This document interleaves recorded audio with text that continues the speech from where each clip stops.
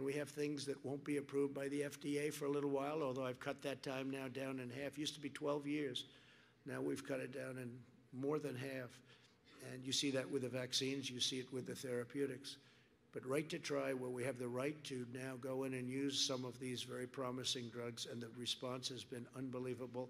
What's happened and the lives saved have been really incredible.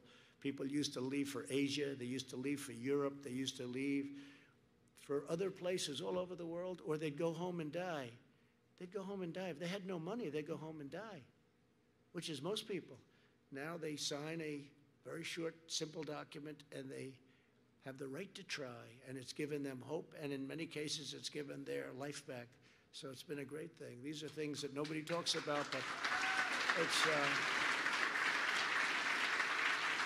They've been trying to get that approved, by the way. Not as easy as it sounds. It's complicated because you have the insurance companies and the doctors and the hospitals, and the country itself doesn't want to get sued. And uh, so, not, not very easy, but they've been trying to get it approved by, for 41 years. They've been trying to get that. That's just one of many, many things that we've done for 41 years. To provide our amazing veterans the care they deserve, we passed VA accountability and VA choice. Many, many decades they've been trying to get that.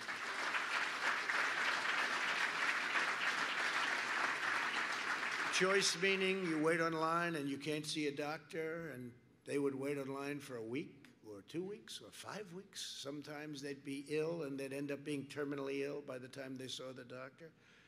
And we're letting them go out, get a private doctor immediately, and we pay the bill. And uh, we just got a 91% approval rating in the VA, the highest we've ever had by many points 91%.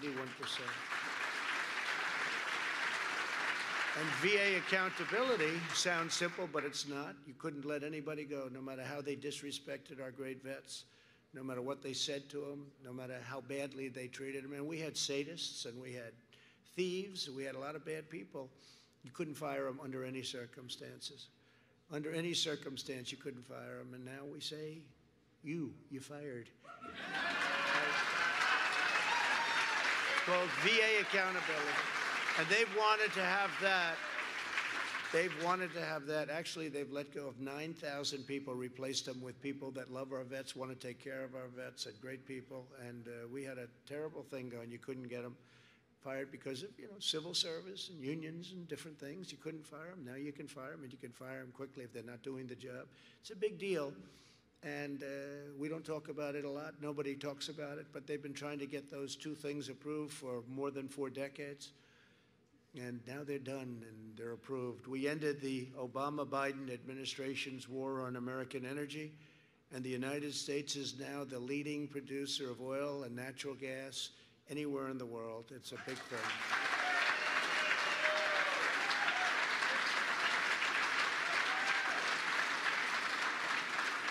And remember this uh, if you look at what they're doing, Biden, he wants to end fracking end petroleum products, end petroleum, no natural gas, no nothing, end everything. And that's it. How does that work in Texas? How does that work in Pennsylvania? I was in Pennsylvania yesterday, a place that he said he was born in, which is true, but he left when he was like nine years old. So he left a long time ago. He left, he left seven decades ago and he still calls it his home. And his real home is a place he never leaves anymore. He just never leaves. He never leaves the, the outskirts of that state. You'd think he'd go a little bit, you know, it's not that far. Never leaves. We'll figure it out pretty soon.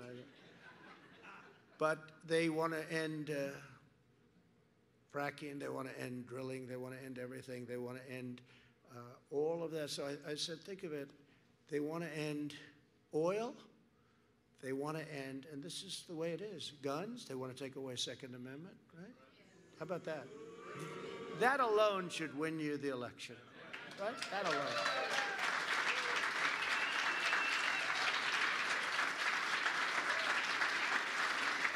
And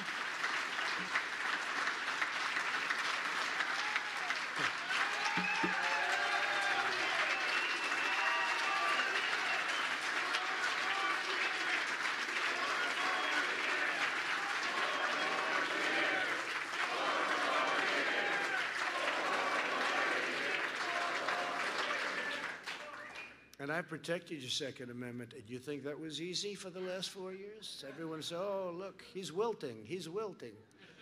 And uh, no, we're not wilting. And we've had people that were in tragedies and uh, they lost a son in a school, and uh, they lost a daughter, beautiful meadow.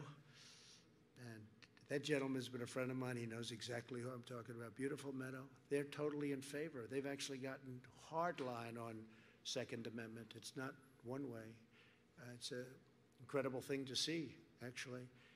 But uh, we held totally strong, and it's uh, always going to be with us. But if they get in, they will absolutely either obliterate it to a point of no return or actually terminate it. And I have no doubt about it. I have absolutely no doubt about it. And it's something we can't let happen, such a big part of our security and our safety. And your entertainment and all, but I say security and safety probably first, right? And uh, God, it's an attack on God, it's an attack on religion. Did you see the man that got up and sang a very, very special phrase from a very, very special thing? And he left the word God out. And I was watching and I said, oh, he must have made a mistake. I didn't think that he left it out. I thought maybe he, you know, that can happen. Maybe he made a mistake. He didn't make a mistake. That's where they're coming from. He left the word God out. And that's where they're coming from. I withdrew from the one sided parrot. If you, if you see it, the Paris climate, I call it the Paris climate disaster. This was a way of. This was a way of taking advantage of the United States. We wouldn't be able to drill, we wouldn't be able to frack, we wouldn't have energy.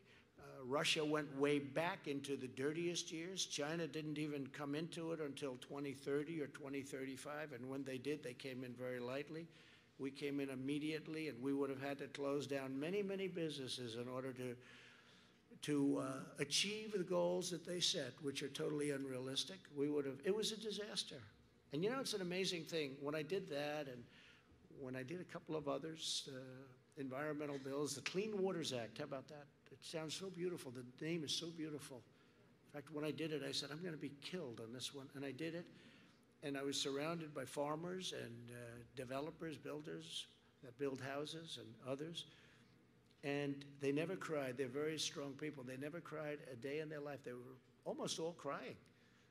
I said, What was this big, strong guy? What was the last time you cried? I can't remember, sir. I gave them back their life. You know, that took away, right? That took away, that took away their life. And what we did in Minnesota with the iron ore, people came up to me, they said, You gave us back our life. Obama wrote it out iron ore, the best in the world. He wrote it out. We gave it back to them. We went up to Maine. We gave them back their lobsters. We gave them back their fishing.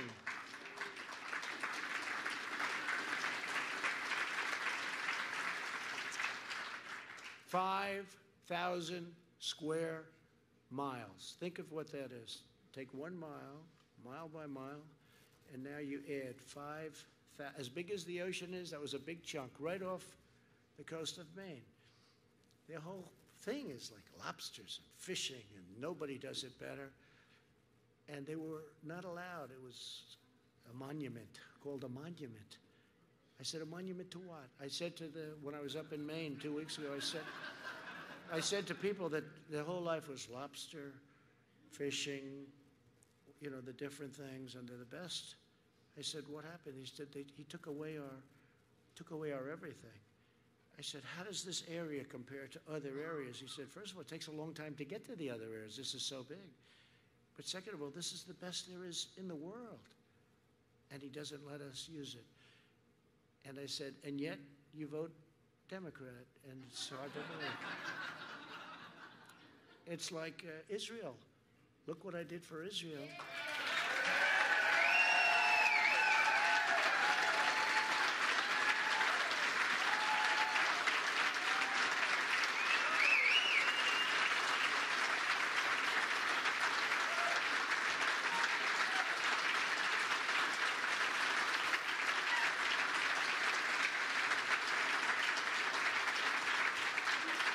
Thank you.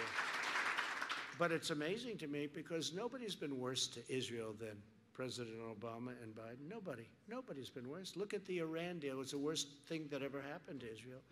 And they never moved the embassy to Jerusalem, thereby making Jerusalem the capital of Israel, which I did, and neither did any other president. And I understand why. They campaign on it, campaign. Every president said they were going to do it. No president did it until I came along. And the pressure, and I will tell you, the pressure from other parts of the world was enormous. And uh, I've told the story a few times where I just turned off my phone, and when the king calls, and this one calls, and that one calls, we're calling about Israel. I say, tell him I'll get back in a couple of days. Right? I'll get back in a couple of days. I'll, I'll be in next week. Kings and queens and prime ministers, and presidents, and dictators, everybody was calling. Don't do it, don't do it. It'll be bloodshed all over the Middle East. Look what we just did, right? With United Arab Emirates and Israel.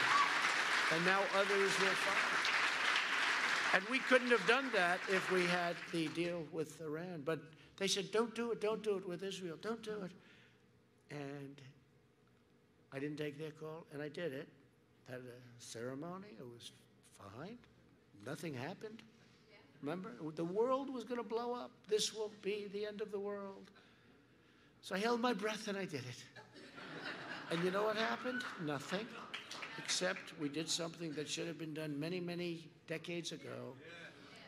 And every president violated their promise, their campaign promise, except me. And I did it. And by the way, I added in Golan Heights. That was a big one, too, by itself. And, and I did it, and you know, it's uh, incredible. I'd then call up these heads of state, many of whom are friends of mine. I get along. Actually, you don't hear this from the fake news back there. A lot of, oh, there's a lot of, a lot of press, a lot of press. But you know, uh, you don't hear this from the people back there. But I actually have very good relationships with, with uh, leaders, with many of them, and some of them just take too much advantage of our country, including some of our so-called allies. You know, some of them are the worst for taking advantage of us.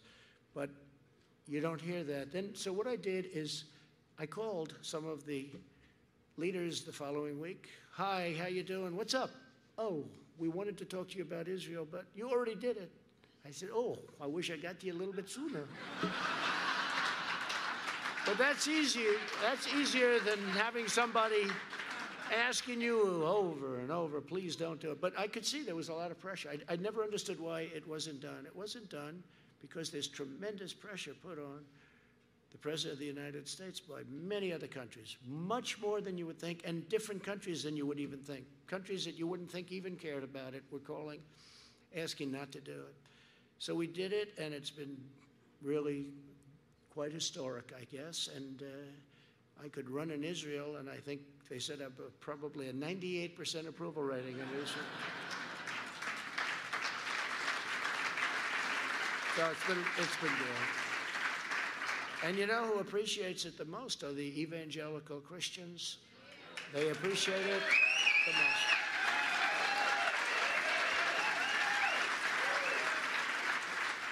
So uh, it's been it's been quite a uh, interest. That was that has been just by itself. That's one thing out of many many things, but that's been quite an interesting journey. But we also took historic action to stand up to China's trade cheating and plundering. You know that. We had the best year we ever had, and they've had the worst year they've had in 67 years. I wonder why. And I don't want them to have bad years, but there's been nobody that has ripped off the United States like China for so many years. How presidents before me allowed that to happen, and especially the one just before me.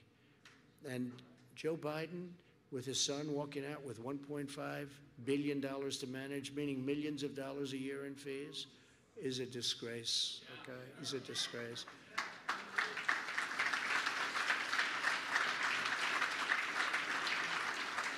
And then the vast sums of money he was paid by Ukrainian or Ukrainian company that uh, didn't have the highest standing, to put it mildly, but the vast sums of money. If that ever happened to a Republican, they would have been in jail a long time ago. It's such a double standard, I can't tell you. This whole thing with all of the things that happened, the deep state, you can believe it, you don't have to believe it, but it's very unfair. And I will say that if a Republican ever did what Joe Biden did with calling off the prosecutors or you're not going to get a billion dollars, and he's on tape. It's not like, oh, gee, I mean, he's on tape. We wouldn't have had a chance. It's a disgrace. The double standard is a disgrace. And hopefully it'll be brought back to fairness. And remember this they spied on my campaign and they got caught. They can say what they want. This FBI agent has just now, first one, admitted that's the beginning, hopefully, of the falling castle. But he's admitted that he forged documents. He changed documents, reversing them. And he admitted it. So let's see what's going to happen over the next, hopefully, short period of time because it's been unfair that we've had to wait so long. That was so obvious for a long time. And uh, it should never be allowed to happen to another president again, that I can tell you. And that's for the good of the country, not for me, for the good of the country. Within three years, we replaced NAFTA, which everybody said was impossible to do, with the brand new and really pro America USMCA. It's a whole different ballgame. And we don't want to lose our companies to Mexico and Canada. And this puts a tremendous price tag on doing that. If they want to do that, they won't be doing that. In everything we do, my administration is fighting for the American people and delivering one victory after another. We have appointed more than 230 federal judges. We expect to be perhaps over 300 federal judges by the end of the year.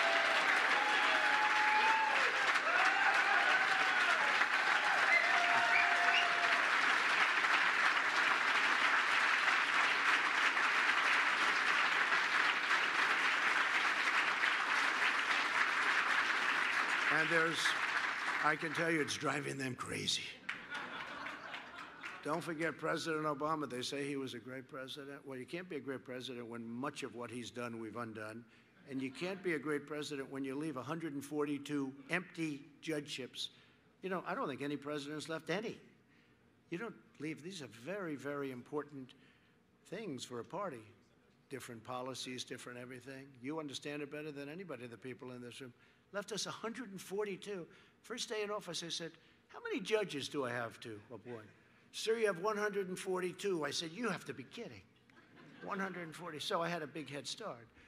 But we have 142, but now we will have, uh, I think, in excess, by the time we finish, in excess of 300, including Court of Appeals, and of course, two very exceptional Supreme Court justices. So, good. really good.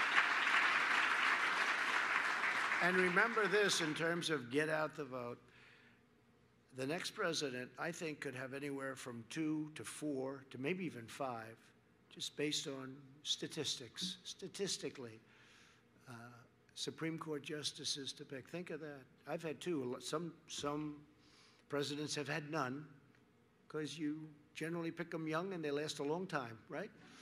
They can last a long time. But, but we could have two to three to four maybe even to five. It's probably a stretch, but four isn't a stretch at all. That would mean that the entire balance of the court doesn't just shift, it becomes dominant. So if we, if we um, don't win, which we don't want to think about, we have to think positively. And the polls today, Rasmussen, 51%, and they were the ones that got it right last time, them and a few others. 51%. They don't want to show those polls. They only want to show those polls, not likely voters, registered voters. What does that mean? Many are dead? Many have switched their party affiliations, you know, registered. They don't show likely. But you see some of these polls where they interview many more Democrats than Republicans, and they have to, I guess by law, put it out, you know, they interviewed, but many more. And they don't go likely. Why do they do likely voters? Because think they'd be very upset. I think they know they'd be very upset. Bottom line, we're doing very well. We have the biggest crowds. I, I think there's more enthusiasm now for this election than there was even It's record enthusiasm, by the way, record setting enthusiasm right now.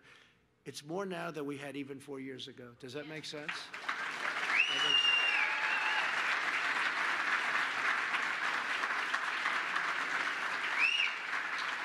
And we had the same, uh, we had the same thing uh, four years ago where they say, but, but now we've done so much. You know, this is easier in many ways.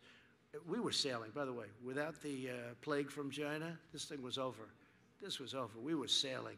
But that came in, and then you have to prove yourself again. So now I have to prove myself again.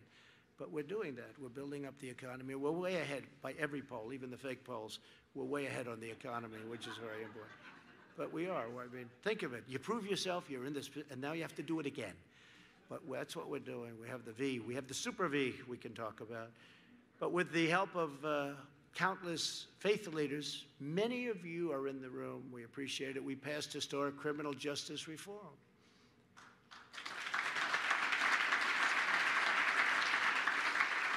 And nobody's done more for the black community or the Hispanic community than we have. Nobody. Nobody. I guess maybe, maybe Lincoln, questionable. Abraham Lincoln, but nobody has, I don't think anybody, with the possible exception of Abraham Lincoln, but nobody's done more. Uh, if you look at opportunity zones, you look at all of the things we've done, uh, nobody's done more. After years of neglect by both parties, my administration understands that a strong nation must have strong borders.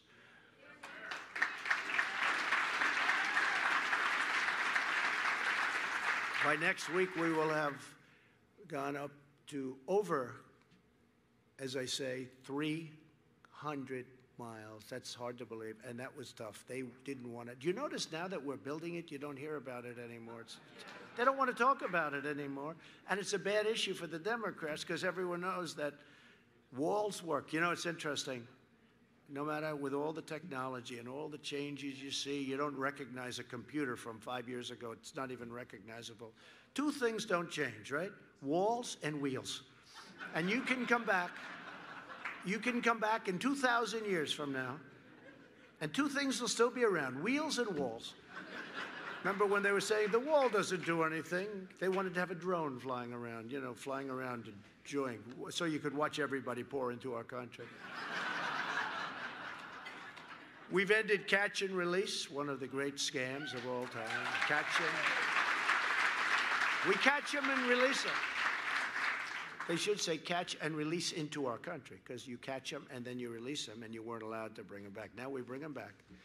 We absolutely bring them back. We've dismantled drug smuggling and human trafficking. Of, uh, these networks are horrible. Human trafficking in women. Which has turned out, you think of it as almost an ancient crime, but it's not. It's uh, bigger now all over the world than it's ever been because of the computer because of the internet. It's bigger now than ever before. It's a horrible thing, much of it through the southern border. But all over the world, this is taking place, and we've uh, brought it down to levels that nobody thought even possible. But it's a terrible thing, mostly trafficking in women, children to a lesser extent, but women. We've removed 20,000 gang members, including 4,500 MS 13 members, and we brought them back to their countries. And their countries, under the Obama administration, uh, didn't want to take people. You know that, right? They didn't want to take them. They'd say, no, don't bring them back here. We're not taking them. Guatemala, El Salvador, right? Honduras. They wouldn't want to. They wouldn't take people back. Now they take them back. They say, oh, thank you very much. the last administration left us with a Middle East in chaos. This was a Middle East in chaos. Iran was empowered and exporting terror. They don't have too much money now. They're not spending billions of dollars giving it to Al Qaeda, Hezbollah, some of these wonderful groups that are totally vicious, crazed lunatics. But Iran's different. It's uh, having a hard time. Its GDP went down at a level that you wouldn't even believe in the 20s. And uh, they'll make a deal. I say they'll make a deal within a month, but I probably mean a week. But I just want to be right because they'll call me. They'll say, It took 10 days, he was wrong. they just want to see if I win, they'll be in making a deal. And if for some reason I don't, they'll take their time and they will get one of the great deals since the last one where we paid them 150 billion. Billion. Gave them 150 for nothing. It's, it wasn't even a long-term deal. It was, you know, right now, the time is almost up. This was like a short-term deal. It's like you rent a store in a shopping center. This, these are countries we're dealing with. You need length, but it was a short-term deal. But more importantly, we gave them 1.8 billion in cash. Think of that, cash, cash. We flew it in in Boeing 757s, loaded from floor to ceiling with cash. What were these people thinking? And had I kept that deal, we terminated that deal. Had I kept that deal, we could never have started this incredible thing that's happening with UAE, Israel, and everybody saying, Why haven't you invited us? Okay, we're dealing with many countries now want to come in. This was an impossible thing to even conceive of. Impossible.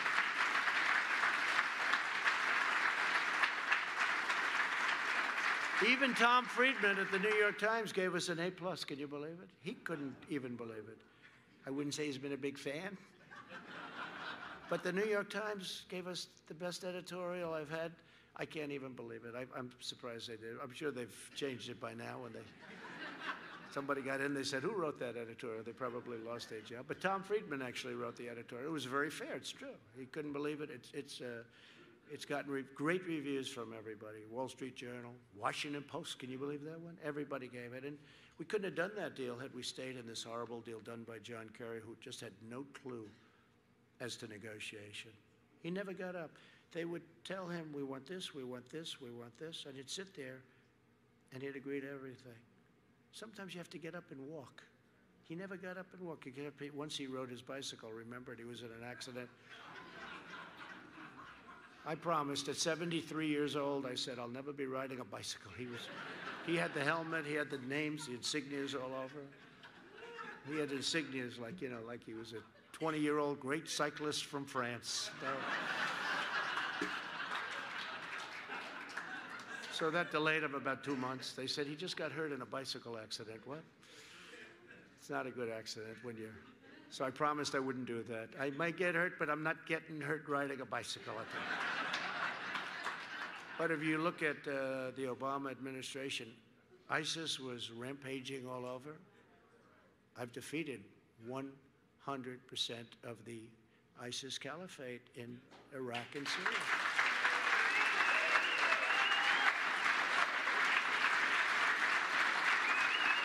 Yesterday we had the Prime Minister of Iraq in my uh, office, and uh, he made a statement. He said, Sir, I want to thank you. You have defeated ISIS. I said, Wait a minute.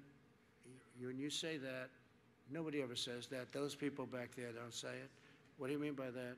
He said, You. I said, Do you mean Obama? Do you mean the United States? Sir, Obama, it was a disaster. When you took over, ISIS was in 30% of our country. You came in and you defeated. I said, Would you please go public with that? so he said, I would. He would. But it's true. I mean, we defeated 100% of the caliphate. And uh, we turned it all around. We rebuilt the United States military, $2.5 trillion. We have a brand new, beautiful military.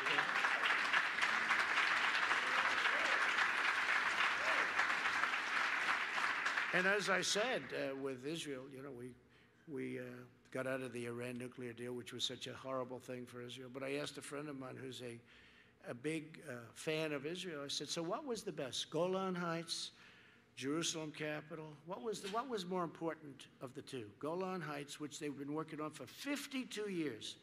Recognition of Golan Heights for Israel, right? 52 years. Planes would fly in. They'd have summits every year or two. Planes would fly in, they'd talk, they'd talk, they'd keep talking. Two days later, the planes would fly out. Then they'd meet two years later. 52 years they went through that. I got it done immediately. I said, which is more important, Golan Heights or Jerusalem, capital? I said, neither. I said, what do you mean neither? He said, the most important is when you withdrew from that horrible and very dangerous Iran nuclear deal. That was the greatest thing you did for Israel. It's very interesting. And I, I said I agree. I actually said I, I said I agree. We imposed the toughest ever U.S. sanctions on Iran. And this week we invoked the snapback provisions to restore virtually all of the previously suspended UN sanctions. We snapped it back. It's a good term. The founder and leader of ISIS, al Baghdadi, is dead. We call him. And the world's top terrorist, probably over 50 years, the top terrorist, Qasem Soleimani, is dead. He's gone. But the more success that we've achieved, the more unhinged the radical left has become. Anarchists and violent mobs have rioted in our Democrat run cities, attacking our police and tearing down statues. And as you know, I signed a, uh, a clause. I got an old bill, you know, when they used to do powerful things, when they knew what the hell they were doing. I took an old bill and I gave a nice, beautiful, brand new executive order. It says very easily, could you imagine getting this today? You rip down a statue, a federal statue, you go to jail, prison, they use the term prison, you go to prison for 10 years.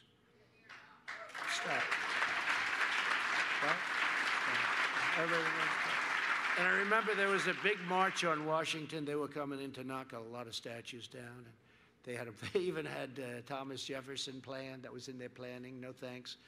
Uh, George Washington. They were even thinking about Lincoln. You know, Lincoln did sort of a pretty good job, right? But they were talking about anybody. I don't even know if they knew what they were doing. They're just wild and out of control. But I signed this uh, 10 years in prison if you knock down a statue. We have people right now in jail that are going to trial, by the way, and that was from previous to me signing it. But if you remember, that was a big thing two and a half months ago. You know when I signed it? Two and a half months ago. Two and a half months ago, I signed it. We haven't had a problem since. They say, you know, we want to knock down that statue, but you know, 10 years, let's see, 10 years, that's a lot of time. That's a lot of time. Which tells you that, you know, laws, if properly utilized, can stop all of this madness. And that's why we have to give our great police uh, back their dignity and their power.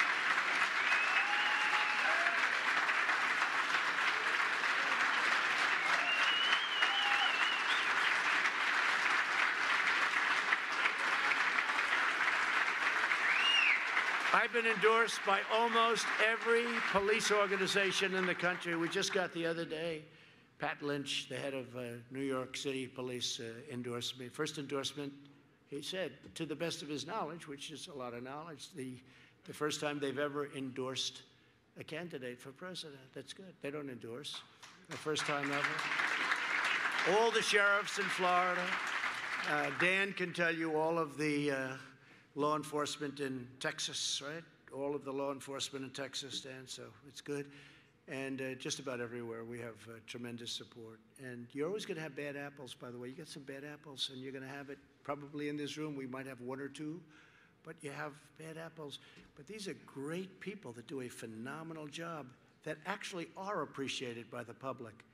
By the public, they're appreciated and they're loved and they're respected. And the public doesn't want to happen what's happening to our police. They took away their dignity, they took away their right to do the job that they want to do. And they're doing the job now. And for me, they do the job. And you look at most cities in our country, you know, crime is actually down. You look at Chicago and you say, how's that possible? You look at New York, what's happened just in a short period of time. But we're with them and they're with us, and uh, they've done a fantastic job.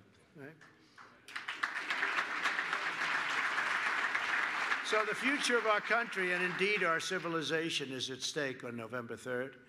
Earlier this summer, murders rose by 29% in New York City, 33% in Philadelphia, 53% in Chicago, 133% in Minneapolis.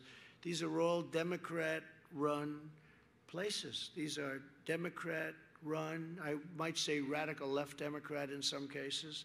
But these are people that don't have any clue what they're doing. They have no idea. I don't even think they know that it's uh, bad what's going on. You know, you'd almost say they're trying to defend it. It's, it's incredible to hear them. But that's why I launched Operation Legend, which has led to the arrest of 1,500 criminals since July. And the radical left spent four years trying to illegally overturn the last election. They're still trying to overturn Hillary Clinton. Remember the Hillary Clinton? Will you honor the election? right? The results of the election. That was Hillary Clinton. And she should have asked that question to herself. She's like a crazed lunatic. She's a lunatic.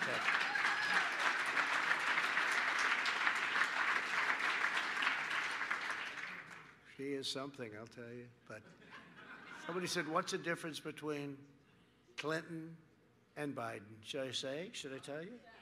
Well, Clinton's much smarter, but not a likable person. Joe is not nearly as smart, but he's more likable. So, you know, I don't know. Maybe I'd rather have the smarter person. Who cares about personality, right? But that's the difference. Very simple, isn't it, huh? It's a very simple thing. But that's why we have to win. We have to win.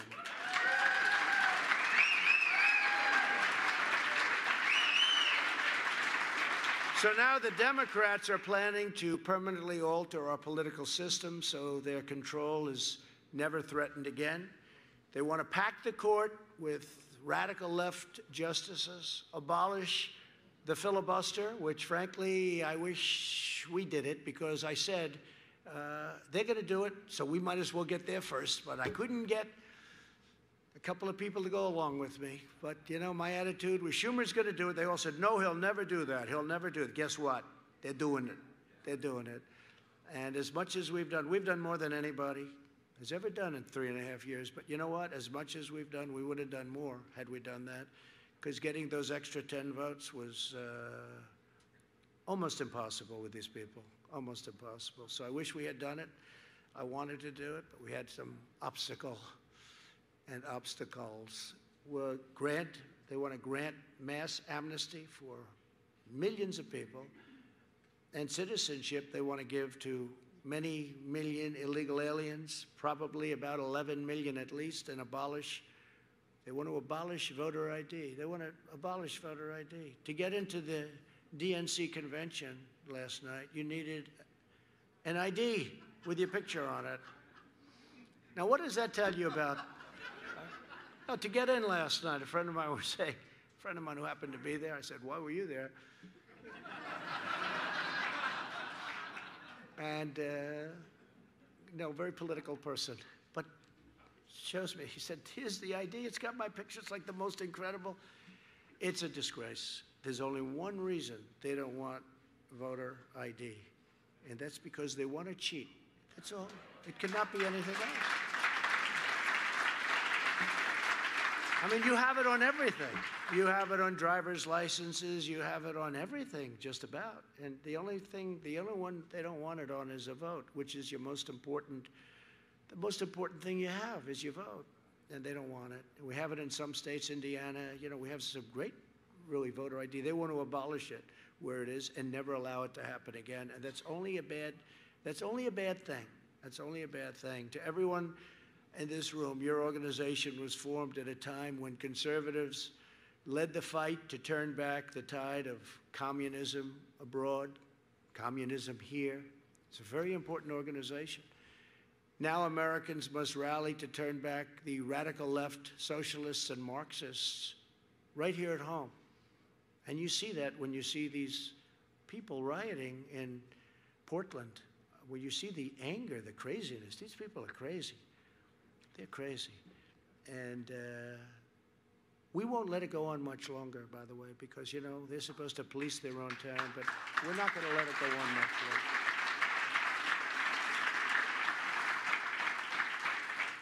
Because at some point we have to say, okay, you've had enough time to police your town. And by the way, they have good police. They have good, Portland has good police, but they're not, again, they're not allowed to do their job. If our opponents prevail, no one will be safe in our country, and no one will be spared. No one will be spared, including the people that help fund. They think they're going to be best pals. They're not going to be best pals. They'll be terminated just like many others. I'm the only thing standing between the American dream and total anarchy, madness, and chaos. And that's what it is. I'm representing you. I'm just here. And uh, I'm not sure it's an enviable position, but that's what it is. That's what it is.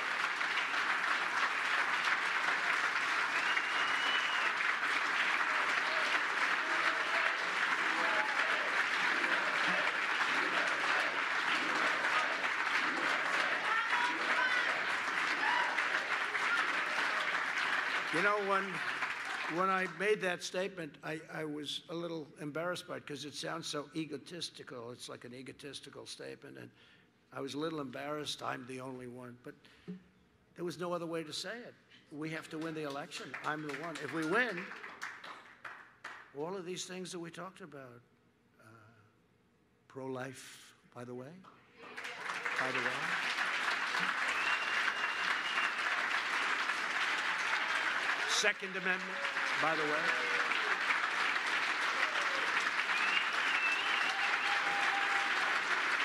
No. If we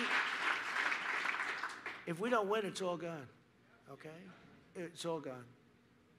And we mentioned, have to mention life. All gone. Second Amendment, gone. It's all gone. And many other things it will be a totally different country, and ultimately it will fail. It will fail. It can't work. Economically, it can't work. We'll go into a depression, and I'm very good at predicting these things. We will go into a, depression, no different than, maybe worse, no different than what happened in 1929. Your stocks will crash, your 401ks will be worthless. This is going to happen. And the radical left will bring him along so quickly. I don't know if you saw the congresswoman the other day where she said, He will do whatever I tell him to do. He's perfect. He will do whatever I tell him to do. This is a congresswoman. And uh, Bernie Sanders is saying the same thing. Bernie Sanders is saying, Look, we'll just let him be in there, and then we'll, when he gets in, we'll take it over. That's what's going to happen because that's where their party is. It's it's become a sick ideology, and we have to win. We will solve the problem very quickly, very easily. We have to win. I don't like this mail in ballot deal. They're going to send out 51 million mail in ballots to people that haven't requested them. Well, where are they going? Look at what happened in New York with Carolyn Maloney, a, a small race, and they declared her the winner. They don't even have the ballots. It's so mixed up, so fraudulent. And the only reason they declared her a winner is because I was right up. I said, well, yeah, what's going on? Six weeks and they couldn't count the votes. That's one little race. What's going to happen when you have 150 million votes and you have 51 million, 51 million votes? Think of it.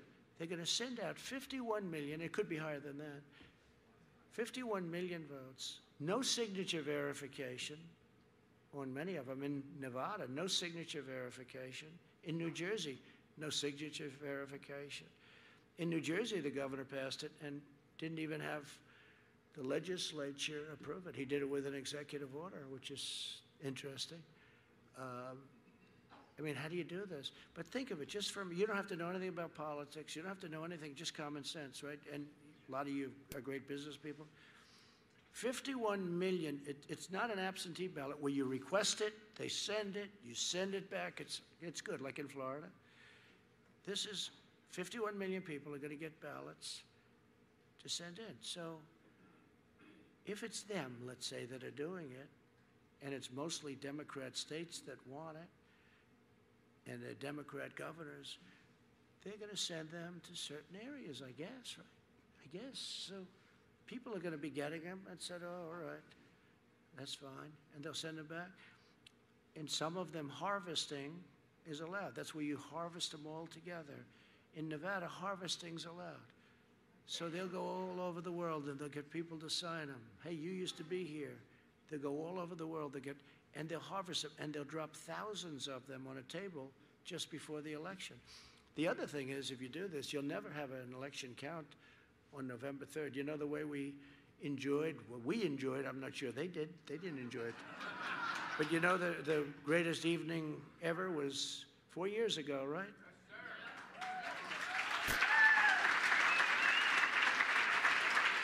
And that night, that night, four years ago, that was an extraordinary night. But we knew that night. In fact, we knew before, we really knew before 9 o'clock, even though it took like 2 o'clock to call it. They refused to call Pennsylvania, which we had. If we lost every single vote, right? Remember, there was two points, two left. And uh, two points left. And if we lost every vote, we won Pennsylvania. They refused to call it. But they called Wisconsin. They called Michigan. They called places that haven't done really very well for Republicans. But, you know, if you look at Michigan now, we're building many car plants. They hadn't built car plants in 42 years. We're expanding and building car plants. I mean, a lot of good things are going to happen. But you're not going to be able to know the end of this election, in my opinion, for weeks, months, maybe never. Maybe years, but maybe never. Because once you go past the first week, you're never going to know what's going to happen. They're going to be taking them and hiding them. You saw what happened in Broward County in Florida, where they were every day 10,000 gone, 10,000. Rick Scott, he was great he, the way he did that. And we helped him a lot. And Governor DeSantis, right? 10,000, 10,000, 10. If we would have waited a couple of days, you wouldn't have had the same governor and you wouldn't have had the same senator. We took very strong action because it was obvious what was going on. So now you're going to have 51 million ballots, Tom. Where's Tom? My Tom. Where is he? Stand up, Tom. Will you, Tom Fitton? I don't know.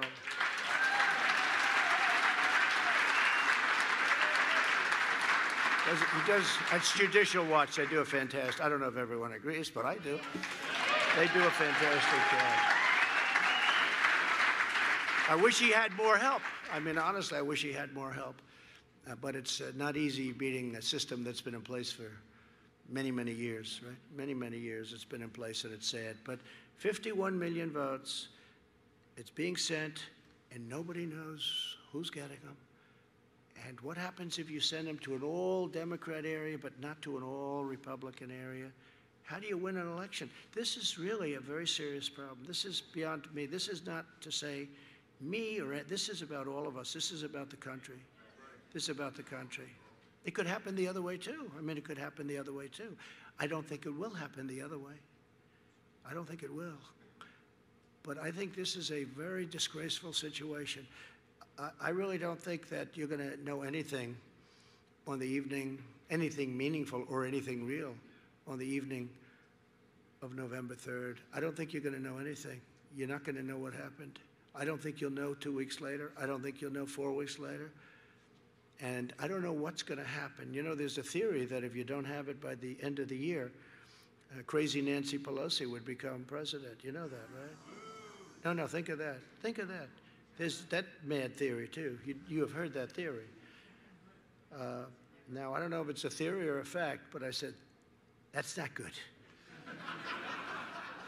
that's not good. No, no, there is a uh, theory that if you don't have it, and that, that's part of their whole act, that if you don't have a choice, that the Speaker of the House becomes president. And that, I think, goes into effect either on the 20th or the 1st. And uh, put that in the hopper, add that to everything else. It's a disgrace. They know it's filthy, dirty. Paterson, New Jersey, Virginia, New York, many, many cases all over the country. Just recent, I'm talking about recently. And it's not even the post office, although the mailmen become very popular people, I have to tell you that. That's happened too. That's happened too, even mailmen. But think about what they're doing to our country when they do this. We voted in World War I. We voted in World War II. And now we can't vote anymore. And you know, that's still a long time away. The pandemic is if you look at Florida, if you look at Arizona, you look at California, those numbers are going down very rapidly. Many, many states uh, have very little problem. You know, you look at a map now, it's, it's largely really in good shape. I mean, I'm going to talk about it in my speech on Thursday. we have done a great job. We have not been recognized for what we've done. We've done a great job.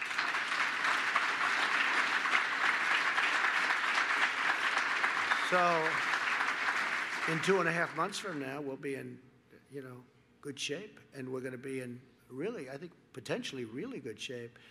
And uh, we, we can't let this happen to our country. It's called universal mail-ins, okay? Universal. They like the word universal because it explains it. I don't know why. I personally don't like the name. I just call it mail-in.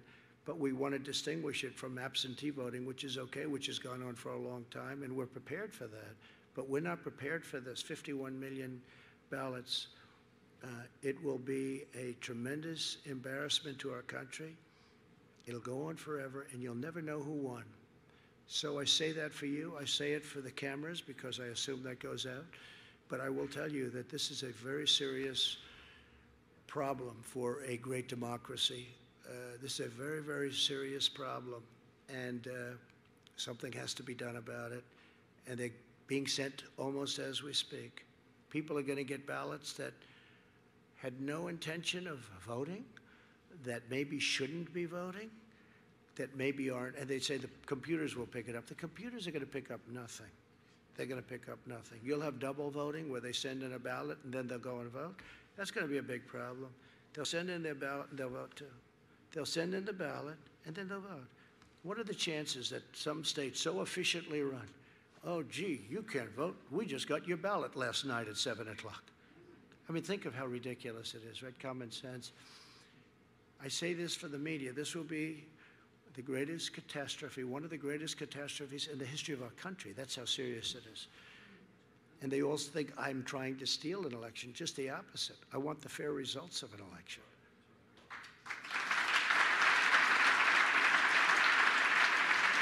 So the damage that they inflict will not just last a year or an election cycle.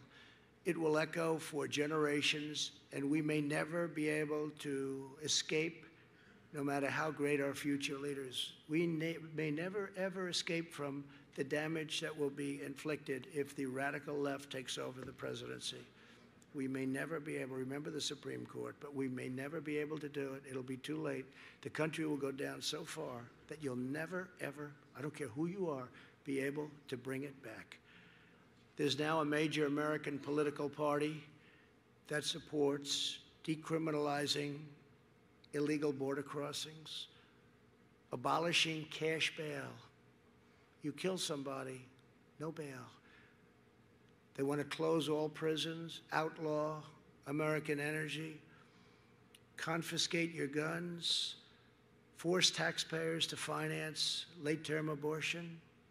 They want to ban charter schools, abolish school choice, destroy our beautiful suburbs. They want to destroy, I have done more for suburbia when they talk about the suburban woman Will she vote for Trump? If she doesn't, I mean, what is she doing? They want to force low income housing into suburbia. And now the one that wants to do it is Cory Booker. Cory Booker's a disaster. You saw him running for president. Uh, he eventually quit when he started getting below 1%. How about all these people? How about Kamala? Kamala runs. She's sort of one of the favorites and she goes from 15 to 13 to 12 to 9 to 7, 5, 4. About 1 she got out. She didn't even get to Iowa. She never got there.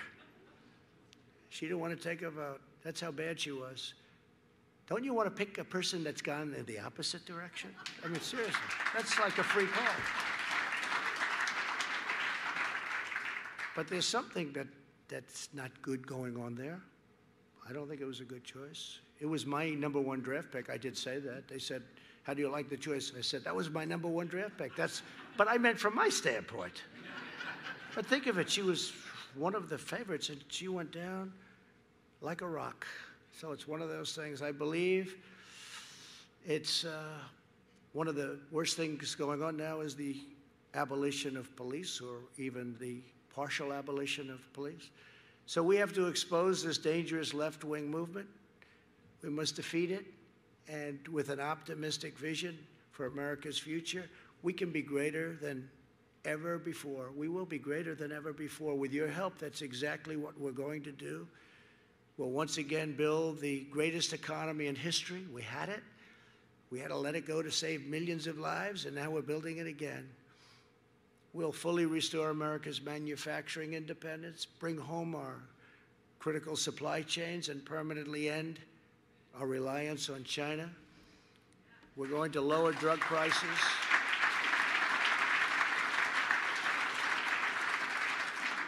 We're going to lower drug prices at a level that's never been lowered before. You know, I'm the only president in 51 years that lowered last year. Drug prices went down a little bit. Not much, but a little bit. But under Obama and Biden, they went up 52%. 52%. We'll create a healthcare system that protects vulnerable patients, lowers costs.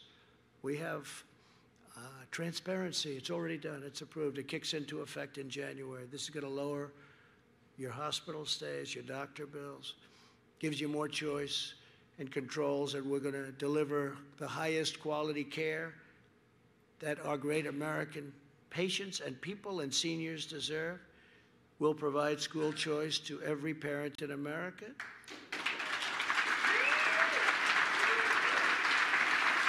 We'll appoint more conservative judges and justices.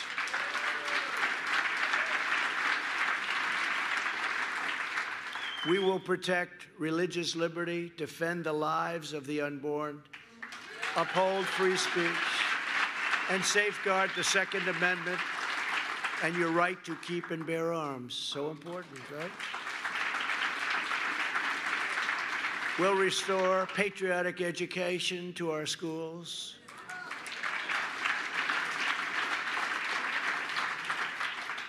I mean, what they're teaching students today is incredible. They come home, it's like a different world.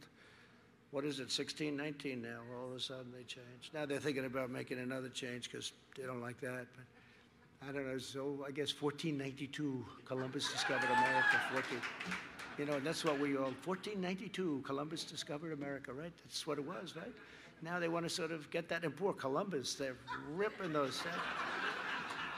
Poor Christopher. Except in one tough Italian neighborhood in New York, they didn't get away with it.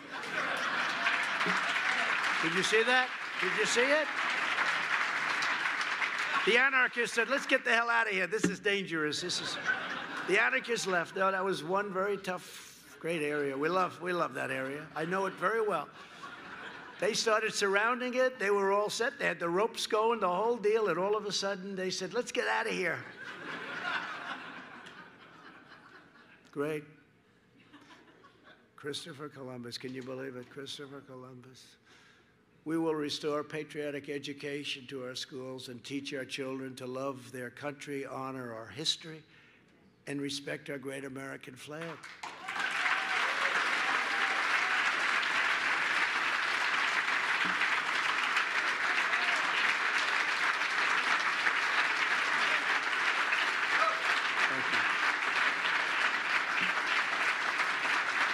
So this is the vision we believe in. And with your help, your talent, and you have incredible talent in this room, and your devotion, this is the bright future, not the dark future that you saw last night and for the last four days. This is a bright future that we will deliver for all Americans. I promise you this as long as I am the President of the United States, I will fight with every ounce of energy and strength. And I have no doubt that our country will be greater than ever before. Thank you all very much. I appreciate it. It's a great honor. Thank you. Thank you very much.